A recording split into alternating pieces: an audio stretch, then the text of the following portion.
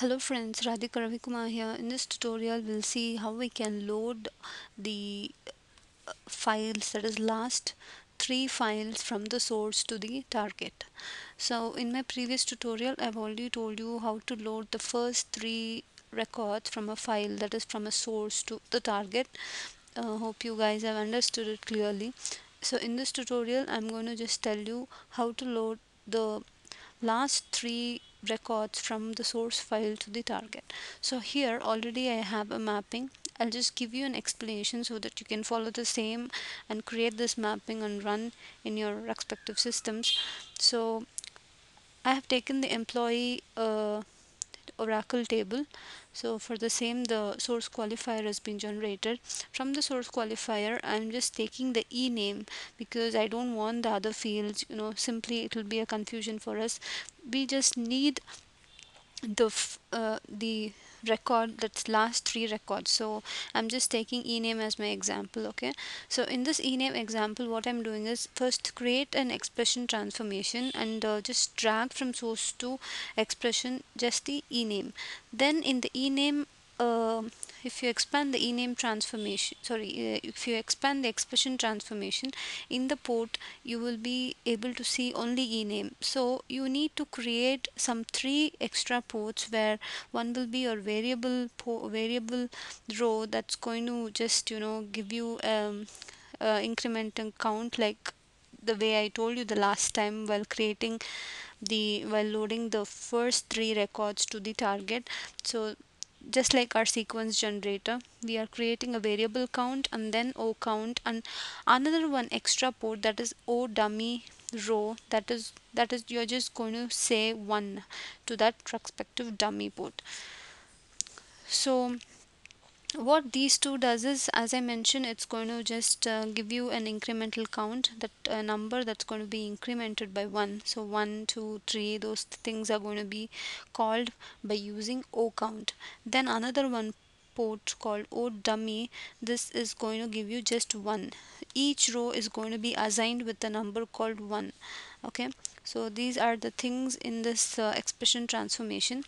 Then create another one transformation called aggregator transformation. So in this aggregator transformation make sure that you are dragging this um, o count and dummy o count port and the dummy port to your aggregator transformation. So that's what I've dragged o count and dummy from the expression transformation and create one new port called o total record. So this is going to this is going to be an output port and um, this is going to call the o count.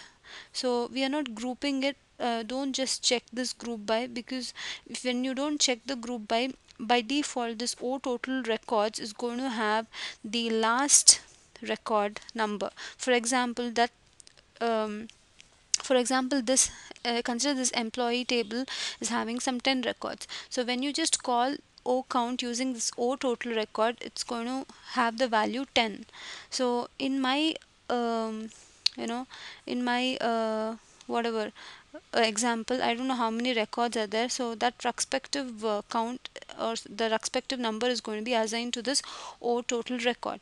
So these are the ports that are available in the aggregator transformation. So then what you're going to do is you're going to make use of a joiner and you're going to drag these um, ename and uh, you know all these three uh, rows to your joiner transformation which is going to be a source type detail. And from here you're going, you're going to drag the o total record and o dummy uh, record uh, so row to this. And you're going to join with the condition like o dummy one is going to be o dummy okay? That's nothing but this dummy dummy row is coming from the expression transformation. Another one dummy is going to come from the aggregator transformation. So you're just going to um, you know on the condition that this should be equal to this o dummy okay? So based on that you're creating a joiner here. So for that we are making use of joiner transformation. So that's what is about. And uh, you can see uh, these two are master. And make sure when sometimes what happens is I have faced it many a times like uh, when you when you drag the you know rows from expression transformation and drag it to your joiner. And then if you drag from the aggregator you'll be able to you'll not be able to see this you know this blue line the connector. Why this happens is it's because in this properties make sure this sorted input is checked. If you don't check it then obviously you will not be able to see the master connector the master connector uh, to your joiner. Hope you guys are understanding. So make sure this uh, sorter input is uh, sorter input is uh, checked so that you will be able to join it properly. So that's what is about joiner. So joiner what exactly happens? Let me explain you that. So here you have uh, you know um, here what exactly happens is in e name uh, your row is going to be given like um, for example let me just give you an example.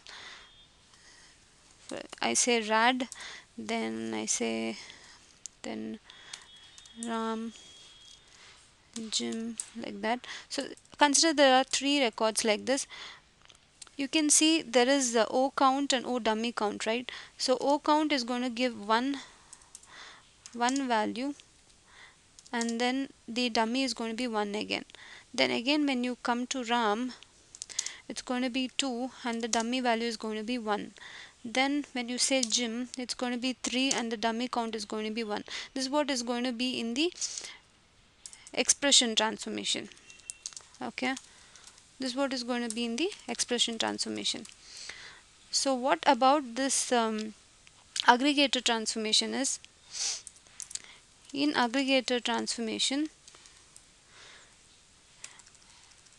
you can see there is um, o total count and o dummy count. So as you see o, o uh, this o total count is calling the o count. When we saw that previously if you open and expand the aggregate transfer you will come to know. So the o total count is going to be just 3 because there are only 3 records. And o dummy count is going to be 1 because you know 1 has been assigned to it. So this is what is going to be in aggregator transformation. So next by when you join these these two by using by keeping this dummy as uh, the condition what exactly happens is obviously this satisfies for all condition and in this joiner um, I'll just take this off. Joiner transformation this is what is going to be your result sorry. So this is what will be your you know result when you join with this dummy uh, dummy as a condition so later this is going to be given uh, given to our filter. What we are suggesting in the filter is in the filter we are giving um, condition just go to properties and filter condition. In filter condition just tell that the o total records uh, minus o count should be less than equal to 2 because we need last three records right? So for that you're just mentioning that this o total records minus o count should be less than equal to 2 so when you give that uh, only the last three records will be given to your target. So I'm leaving all these and I'm just you know pulling over this e name and uh, sorry e, e emp id I'm just giving some emp id as uh, my field so that we'll come to know using this count like what number it is then the e name so that's what is about this. So let me run uh, this you know mapping. Just go to your um, workflow manager. I've already created a, a session over here. So I have a file that's automatic that's already generated sorry. So let me delete it first of all then um, coming back to my session I'll just run this session. Okay uh, make sure you're doing all the changes that uh, that needs to be done in this uh, mapping and target. Mention where you want your file to be present. Give your in this output file directory name give the path and the output file name give your um, file name so that your output file will sit in that respective path. Then then just uh, right click and say start task. Okay. You can see it's running so let it get succeeded. Before that I'll just show you what is the last three um, records. It's James Ford and Miller. You can see it here. Just run this query select star from EMP and you will be able to see James Ford and Miller is the last three records. That's what we want in our file. So you can see the mapping is succeeded. So now if I go to my desktop and see our file has been generated and you can see here James Ford and Miller. So these are the last three um, records from our file. So that was that is what was our requirement so this is a very important interview question. So make sure that you are understanding this and uh, practice this and execute the same. Hope this tutorial was helpful. Uh, keep supporting my videos and uh, thank you very much for watching